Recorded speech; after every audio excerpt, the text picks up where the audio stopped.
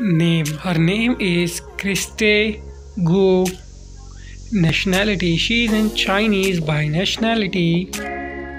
Date of birth She was born on January 2, 1993, and presently she is 29 years old as of 2021. Blood type O. Star sign or zodiac sign is Capricorn. Net worth $1 million approx as of 2022. Her cars are on the screen. Her house is on the screen. Height Her height is 165 centimeter. Weight Her weight is 44 kilograms.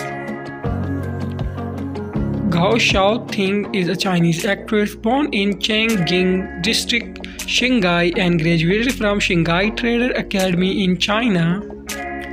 Now she is mainland Chinese actress. She started dancing at the age of 4 and filming at the age of 5. In 1999, she debuted as an actress in the drama True Love for the first time as child actress. In 2011, she gained attention with the place, palace drama Scarlet Heart.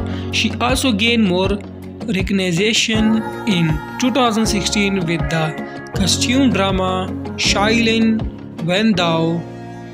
This drama made her very popular among Chinese actresses. After that, she performed main role in A Step into the Past 2018 Chinese drama.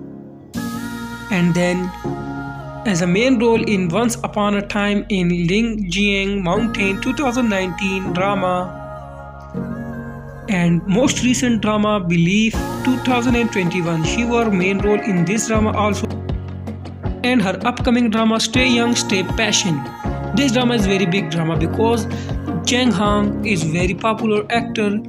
She will act with him as a main role in this drama. So this drama is her very big project.